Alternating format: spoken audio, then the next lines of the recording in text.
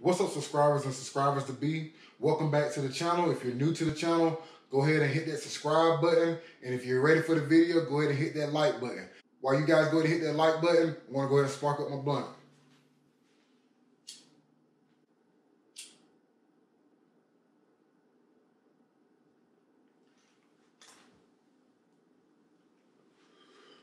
All right, now that we got that out of the way, for today's video, I want to be talking to you guys about precious metals, um, particularly gold and silver. The main reason that I'm making this video today is because gold and silver right now and most other precious metals are for the most part hitting their record highs right now. Gold has peaked above $2,000 as of the making of this video. Gold is currently at $2,070 and silver is currently right under $29 is at $28.92. I already did a video about when and where to purchase precious metals. If you haven't already seen that video, um, look for the link in the um, description of someone's video. And also you can just go back through my old videos and you'll find it. Even though I have those videos that are going in depth, I will still touch on those subjects in this video. Um, but like I said, this is going to be kind of quick and brief, so it won't be that detailed.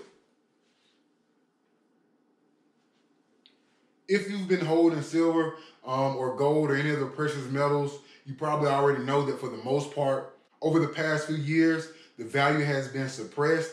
But with the recent, um, but with the recent printing of more money and the inflation that is expected, a lot of investors are now looking to gold, silver, and other precious metals as a way to store their wealth or as a way to diversify their portfolio um, while all this stuff is currently going on.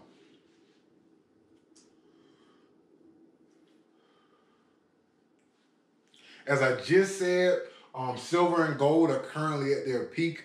For that reason, I personally, I'm not really buying too much of it, but I still am buying some. I personally believe that you should buy precious metals, at least um, to some extent. It should always take up a small portion of your portfolio.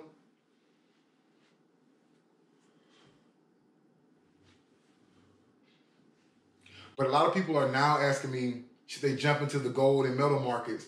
Uh, being that they're starting to rise? My answer to that is kind of a yes and kind of a no. And what I mean by that is if you um if you're purchasing any type of asset, it's best to buy low and sell high if you plan on selling.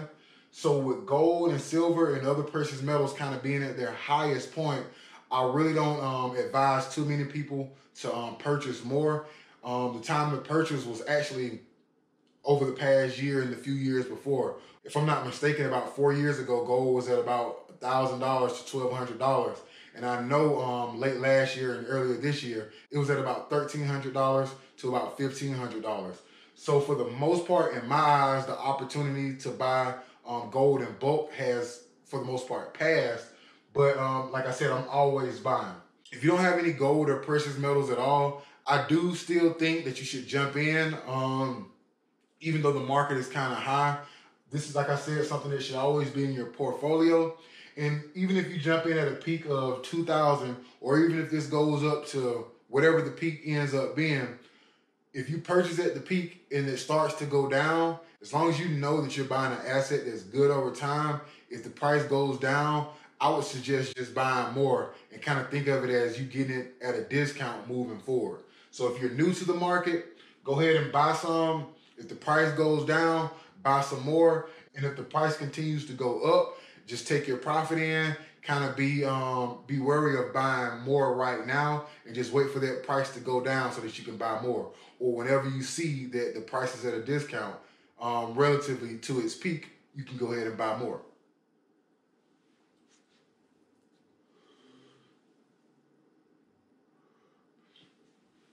So all in all, once again, the best time to buy these precious metals, in my opinion, was in the past.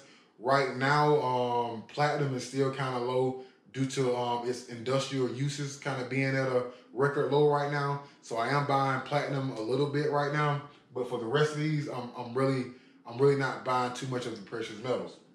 But like I said, if you haven't already started, go ahead and jump in and do that now.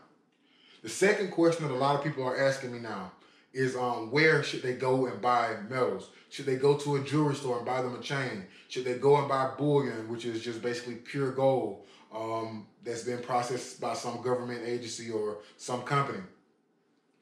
or should they buy some type of um, stock of a gold mining company or some type of ETF that's composed of these companies? Um, in my opinion, if you don't want to have the gold or silver or whatever precious metal on you, um, the ETFs can be a good avenue for you. But I don't like the fact that you don't have it on hand. Um, if you look at the gold ETF market and if you look at gold stocks, you'll notice sometimes that their stock price um, doesn't match the actual value of the precious metal that you're investing in. And um, in my eyes, I kind of view that as money that's some kind of way going to something else. And also, if you look at ETFs, you'll notice that the money that's invested into silver and gold doesn't match the amount that most um, agencies actually have in reserve. Meaning that if everybody was to try to cash out their value at the same time, everybody wouldn't be able to get their money or wouldn't be able to get their value in gold. So that's not really something that I'm personally a fan of. If you're looking to buy, if you're looking to buy jewelry, just keep in mind that a lot of the um, the price isn't actually going towards the value of the metal. A lot of that price is going towards the jeweler and the person who made that chain. So I personally like to buy bullion or coins, which is basically pure um, pure gold, pure silver, or whatever metal that I'm choosing to buy. You can buy these metals at local um, coin shops, bullion shops, um, which is probably where you'll get the best price for it. They normally sell at around spot price, which is the current trading value of precious metals. Um, you can also purchase online places like eBay where you can purchase from um, from you know just people who have it. I personally like to purchase from um, larger companies who are known for doing it. Um, JM Bullion, SD Bullion, APMEX, and companies like that. Um, they have a really great track record, and I've never had a problem with them. The only thing about purchasing online from those type of companies is a lot of times they will also charge you a small premium in order for you to purchase, or they might charge a small shipping fee, um, which is to be expected because that company itself has to make some money. But I just, um, that's the method that I kind of prefer. That's what I usually recommend for people because I just like to personally feel my assets, something tangible in my hand. But um, like I said, I don't want to keep rambling or make this video super long. In my eyes, hopefully you guys are already into the whole precious metal market. If you're not, go ahead and jump in if you can. And um, if the price go up, so be it. If the price drops a little bit from the peak that we're seeing right now, you kind of have a set price that you know that people are willing to pay. And if it goes down from there, you know you're kind of getting at a discount for the moment. I'm gonna go ahead and wrap up the video with that.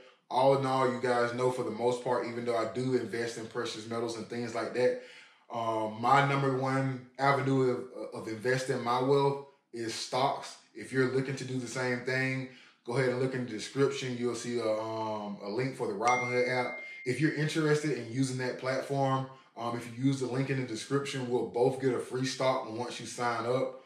Um, outside of that, I also have a stock market membership group. You can access that group by going to www www.everythingmikes.com. That's www.everythingmikes.com and clicking on the stock market membership group page. Um, the page is locked. In order to gain access, you do have to pay a $20 fee. Um, you can send that $20 fee to me via Cash App. My Cash App ID is dollar sign M A N S A E N T. That's dollar sign Mansa E N T. If you want to join that group, go ahead and send your $20. Make sure you include an email address in the memo. Once I receive your membership fee, I'll go ahead and um, email you um, a link that grants you access to that stock market membership page. And on that page, you'll see the top stocks that I'm buying, um, the stocks that I'm buying recently, the top stocks that I'm looking for for a particular year, for a particular month, and as well as a blog that I have with other members of the group where we discuss different different topics, such as the topic of this video today.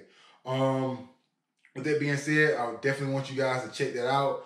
Um, thank you for your time. Have a great day, and I hope to see you soon. Make sure you hit that like button, and thank you for subscribing.